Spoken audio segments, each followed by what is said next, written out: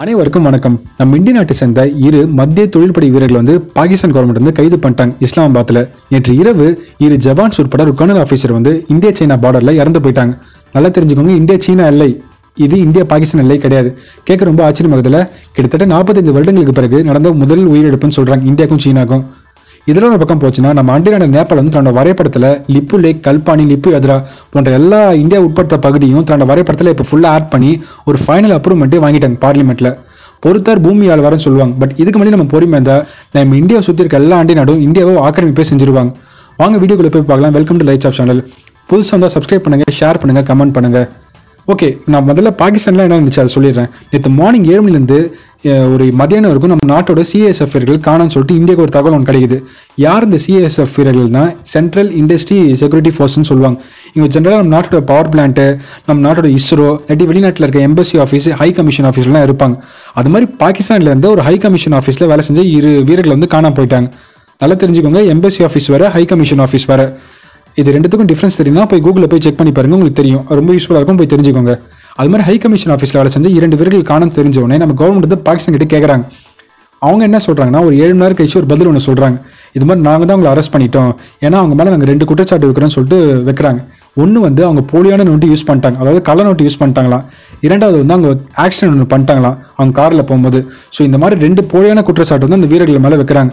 இதுக்கு உடனே இந்திய தரப்புலேருந்து ஒரு அறிக்கை ஒன்று கொடுக்குறாங்க. இது மாதிரி ஜெனிவா ஒப்பந்தம் படி எங்கள் நாட்டு ஆஃபீஸர்ஸை உங்களால் கைது செய்ய முடியாது. ஏன் விசாரணை கூட செய்ய முடியாதுன்னு. அது மட்டும் இல்லாமல் நீங்கள் உங்களை ரிலீஸ் பண்ணலன்னா நீங்கள் பல அரசாங்க ரீதியான நடவடிக்கைகள்லாம் எதிர்பார்க்க வேண்டியது இருக்கும்னு சொல்கிறாங்க ஸோ இதெல்லாம் நிறைய பிரச்சனை இந்தியா கொடுத்தது பிறகு பாகிஸ்தான் கவர்மெண்ட் ஒரு வழியாக ரிலீஸ் பண்ணிட்டாங்க. ஆனால் ரிலீஸ் பண்ண பிறகு தான் இந்தியன் கவர்மெண்ட்டுக்கு ஒரு விஷயம் தெளிவாக புரியுது. அந்த இரு வீரர்களுக்கு உடம்புலையும் பல காயங்கள் தெரியுது. ஓப்பனாகவே ரொம்ப டேரெக்டாகவே அடிச்சிருக்காங்க. அந்தளவுக்கு அவங்க உடம்புல அவ்வளோ காயம் தெரிஞ்சுக்குது. இதுக்கு முக்கியமான காரணம் வந்து பாகிஸ்தானோட ஐஎஸ்ஐ இன்டெல் சர்வீஸ் இன்டெலிஜென்ஸ்னா சொல்கிறாங்க டூ வீக்ஸ் மட்டும் நம்ம நாட்டில் வந்து பாகிஸ்தானை சேர்ந்த இரண்டு ஸ்பைஸ் வந்து கைது செய்யப்பட்டிருக்காங்க. அவங்க வந்து அவங்க நாட்டுக்கு நம்ம திரும்பி அனுப்பிச்சிட்டோம்னு சொல்லிட்டு ஒரு நியூஸ்லாம் பார்த்துருப்பீங்க. அதுக்கு முக்கியமான காரணம் நம்ம நாட்டோட விசா செக்ஷன் ஆஃபீஸில் அவங்க ஒரு போலியான ஐடென்டி கார்டு மாட்டின்னு நம்ம நாட்டில் உழவு பார்க்குறத நம்ம ஒரு குற்றச்சாட்டு வச்சோம். அதுக்கு நம்ம ப்ரூஃபும் காமிச்சோம். பட் இப்போ அவங்க ஒரு குற்றச்சாட்டு வச்சிருக்காங்க. நம்ம ஆக்ஷன் பண்ணிட்டோம். கள்ளநோட்டு தயாரிச்சாங்கன்னு. அதுக்கு அவங்க கிட்ட எந்த ஒரு ப்ரூஃபும் கிடையாது. பட் அவங்களே வாண்டடாக அரெஸ்ட் பண்ணி அவங்கள உள்ள தீக்கி போட்டு அவங்கள அடிக்கவும் செஞ்சுருக்காங்க. அவங்க இந்த ஒரு விஷயத்தில் மட்டும் தான் பாகிஸ்தான் கவர்மெண்ட் வந்து இந்தியா கிட்ட சீன்றாங்கன்னு பார்த்தா கிடையாது. நேற்று கூட ஜம்மு காஷ்மீரில் வந்து பல இடத்துல சீஸ் ஃபயர் பண்ணதில் ஒரு ஜவான் உயிரிழந்துட்டார் இன்னைக்கு மட்டுமே சோஃபியன் டிஸ்ட்ரிக் ஜம்முவில் இருக்க ஒரு டிஸ்ட்ரிக் சோஃபியா டிஸ்ட்ரிக்டில் இரண்டு தீவிரவாதிகள் வந்து சுட்டு கொல்லப்பட்டிருக்காங்க. இதுக்கு தான் இந்தியா சீனா எல்லையில் கிட்டத்தட்ட மூணு பேர் வந்து இறந்து போய்க்குது. வந்து இப்போ பெரிய டாக்கா பேசப்படுது. ஆமாங்க மூணு பேர் இறந்து போயிட்டாங்க. இரண்டு ஜவான்ஸ் உட்பட ஒரு கர்னல் ஆஃபீஸர் இது எங்கே நடந்துச்சுன்னா ஈஸ்டர்ன் லடாக்ல இருக்க கால்வான் வேலி ஆல்ரெடி மென்ஷன் பண்ண மாதிரி கால்வான் வேலியில் வந்து பிஃபோர் மே வந்து இந்தியா வந்து ஃபிங்கர் எயிட் வரைக்கும் பேட்ரோல் பண்ணாங்க. பட் சைனா uh, வந்து அதிகமாக உள்ளே வந்ததால இப்போ நம்ம ஃபிங்கர் ஃபோருக்கு பின்னாடி தான் இருக்கும்.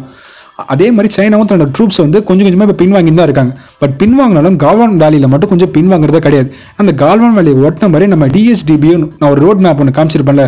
அந்த டால்ட் பிகி ஓல்ட் ரோடு அந்த ரோடை ஒட்டின மாதிரி சைனாவோட ட்ரூப்ஸ் வந்து நிறுத்தி வச்சிருக்காங்க. நேற்று ஒரு சின்ன பிரச்சனை தான் இருக்குது. அது பெருசாக கைகலப்பில் போயிருக்குது இறுதியில் வந்து ரெண்டு பேருமே கல் வீசி தாக்கிட்டாங்க. அதில் நம்ம நாட்டை சேர்ந்த ஒரு கர்னல் ஆஃபீஸரும் இரு ஜவான்ஸும் இறந்து போயிட்டாங்க. அதே மாதிரி சீனாலையும் அஞ்சு சோல்ஜர்ஸ் இறந்து போயிட்டதாக சொல்கிறாங்க இது பாருங்க இந்த அளவுக்கு ஒரு சென்சிட்டிவான நியூஸாக மாறும். கண்டிப்பாக இதுக்கு அமெரிக்கா போன்ற நாடெல்லாம் இது ஸ்டேட்மெண்ட் விட தான் செய்யும். நம்ம வரும் நியூஸில் எதிர்பார்க்கலாம். இந்தியா ஏன் இந்த அளவுக்கு பாகிஸ்தான் கிட்ட பயப்படுறாங்க? இந்தியா இந்த அளவுக்கு நேபாள் கிட்ட பயப்படுறாங்க? இந்தியா இந்த அளவுக்கு சீனா கிட்ட பயப்படுறாங்க? நீங்கள் நம்ம எனக்கே இது கான்செப்ட் புரியல. நம்ம கூட பல அலைஸ் இருக்காங்க. ஆஸ்திரேலியா இருக்காங்க அமெரிக்கா இருக்காங்க யூகே பிரான்ஸ் எல்லாருமே சீனா மேலே இப்போ கோவத்தில் தான் இருக்காங்க. கண்டிப்பாக இந்தியா வந்து ஒரு ரிட்டாலியேஷன் பண்றதுல எந்த டவுட்டுமே வேணாம். இப்போ நான் இன்னொரு நியூஸும் சொல்கிறேன் நேட்டோ படை அதாவது நேட்டோன்றது ஒரு படை நார்த் அட்லாண்டிக் ட்ரீட்டி ஆர்கனைசேஷன் சொல்லுவாங்க. அதில் வந்து மோஸ்ட்லி நார்த் அமெரிக்கன் கண்ட்ரீஸும் யூரோப் கண்ட்ரீஸும் இருக்கும். அதில் நம்ம முக்கியமான நாடு சொல்லணும்னா யூகே யூஎஸ்ஸு ஃப்ரான்ஸு போன்ற பெரிய வல்லரசு நாடை சேர்ந்த ராணுவ படம்லாம் இருக்கும். அந்த ராணுவ பாடியோட டைரக்டர் ஜெனரல் அவர் பேர் வந்து ஸ்டோலன்பர்க் அவர் வந்து இப்போ சைனா பார்த்து ஓப்பனாக ஒரு வார்னிங்காக விட்டுருக்காரு. இது மாதிரி நீங்கள் அதிகமாக உங்களோட ராணுவ பலத்தை வந்து இன்க்ரீஸ் பண்ணினே போனீங்கன்னா உலக அளவில் பெரிய அச்சுறுத்தலாக இருக்குது ஸோ உங்கள் ராணுவத்தை கொஞ்சம் குறைச்சிக்கோங்க. அவர் சைனா மட்டும் தான் பார்த்து விட்டாருன்னு கேட்டீங்கன்னா இல்லை. அவர் ரஷ்யா பார்த்து இந்த வார்னிங் கொடுத்துருக்காரு. ஒன்று தெரிஞ்சுக்கோங்க ரஷ்யா வந்து சீனாவோட நல்ல ஃப்ரெண்ட்ஸ் தான். அதில் எந்த ஒரு டவுட்டும் கிடையாது. பட் ரஷ்யாவுக்கு இன்னொரு கோபம் இருக்குது சீனா மேலே. என்னதுன்னா ரஷ்யாவோட பல ஆயுதம் தயாரிக்கிற டெக்னாலஜி வந்து சீனா இன்னைக்கும் திருடின்னு தான் இருக்காங்க. நான் ஒரு அப்டேட் சொல்கிறேன் கேளுங்க. இப்போ பாகிஸ்தான்லேருந்து இந்த கராச்சியிலேருந்து சவுண்டு கேட்டதாக கேட்டதா சொல்லிட்டு ஜனங்க நிறைய பேர் சொன்னாங்களே பட் சில எக்ஸ்பர்ட்ஸ் என்ன சொல்கிறாங்கன்னா இது ஒரு கான்ஸ்பிரசி தெரியுதா இது ஒன்றும் அஃபிஷியலாக சொல்லப்படல. என்ன சொல்கிறாங்கன்னா பாகிஸ்தானோட எஃப் சிக்ஸ்டீன் வந்து பாகிஸ்தான்லேருந்து சீனாக்காரங்கிட்ட வித்துட்டாங்க. ஏன்னா பாகிஸ்தானோட எஃப் சிக்ஸ்டீன் வந்து பாகிஸ்தானில் தயாரிக்கப்பட்ட ஒரு விமானம் கிடையாது. அது வந்து அமெரிக்கா வந்து பாகிஸ்தான் கிட்ட கொடுத்த ஒரு விமானம். ஸோ அந்த விமானத்தை வந்து சீனாக்காரங்கிட்ட கொடுத்து தான் பாகிஸ்தான் கவர்மெண்ட்டே இப்போ காசு வாங்கி சாப்பிட்டு இருக்காங்க. சொல்லிட்டு இந்த மாதிரியான ஒரு காமெடியான ஒரு கான்ஸ்பிரசி தெரிஸும் இருக்குது. சொல்ல முடியாது இருந்தாலும் இருக்கலாம். ஒன்று அதுக்காக இருக்கலாம். இல்லாட்டி அந்த எஃப் சிக்ஸ்டினோட அந்த ஏர்கிராஃப்ட் டிசைன்லாம் தெரிஞ்சுக்கிறதுக்காகவோ பாகிஸ்தான் கவர்மெண்ட் வந்து சீனா கிட்ட கொடுத்துருக்கலாம். ஆனால் சீனாக்கு வந்து அஃபிஷியலாக இந்த மூலையும் கிடையாது. இதுவும் தயாரிக்கிற அளவுக்கு அவனுக்கு மூடலாம் கிடையாது. நான் ஆல்ரெடி மென்ஷன் பண்ணியிருப்பேன். எங்கள் வீடியோ தொடர்ந்து பார்க்குறவங்களுக்கு தெரியும். தாய்வான் கிட்டேருந்து பல டெக்னாலஜிஸ் வந்து திருடின ஒரு நாடு தான் சீனா. அதுக்கு தான் இன்னைக்கு இருக்கும் தாய்வானை வந்து இப்படியாவது கைப்பற்ற வேணும்னு சொல்லிட்டு எதுக்குறாங்க எனக்கு தெரிஞ்சு இந்தியா வந்து இப்போ தைரியமாக வந்து சீனாவை ரிட்டலேட் பண்ணலாம். நம்ம பக்கம் நேட்டோ படை வேறு இருக்குது இப்போ நேட்டோ வந்து ஓப்பனாக வார்னிங் பண்ணிருக்காங்க. இப்போ இந்த மாதிரி நாட்டில் இரண்டு சோல்ஜர்ஸ் உட்பட ஒரு கர்னல் ஆஃபீஸர் வந்து இறந்து போன இந்த விஷயம் வந்து உண்மையே உலக அளவில் ஒரு பெரிய நியூஸை தான் பார்க்க போகுது.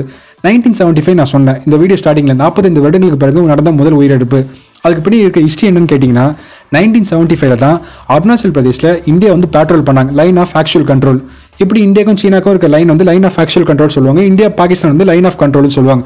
அது மாதிரி line of actual control Arunachal Pradesh இருந்த இடத்துல வந்து நம்ம நாட்டு ராணுவ வீரர்கள் வந்து பேட்ரோல் பண்ணும்போது சீனாவை சேர்ந்த சில ராணுவ வீரர்கள் வந்து பதுங்கொழியை வச்சு அங்கே வெயிட் பண்ணி இருந்தாக்காங்க அங்கே வெயிட் பண்ணி நம்ம நாட்டு ராணுவ வீரர்கள் மேலே தாக்குதல் நடத்தி இரு தரப்பிலும் உயிர் சேதம் ஏற்பட்டுச்சு. ஆனால் நம்ம இந்தியன் ராணுவ வீரர்களை சேர்ந்து நாலு பேர் இறந்து போயிட்டாங்க. இதுதான் நடந்த இதுவரைக்கும் நடந்த ஒரு உயிரிழப்பு. ஸோ இதை தான் நான் சொன்னேன். ஃபார்ட்டி ஃபைவ் இயர்ஸ்க்கு அப்புறம் நடந்த ஒரு பெரிய உயிரிழப்பு இதுதான். பார்க்கலாம் அது நம்ம இந்தியா எப்படி ஃபேஸ் பண்ண போகுதுன்னு வருங்காலத்தில் சீனோட ஆக்கிரமிப்பு புத்தியை எப்படி நம்ம அடக்க போறோம்னு சொல்லிட்டு காலமே பதில் சொல்லும் சீனோட எண்ணம் வந்து எப்படி அழிய போகுதுன்னு.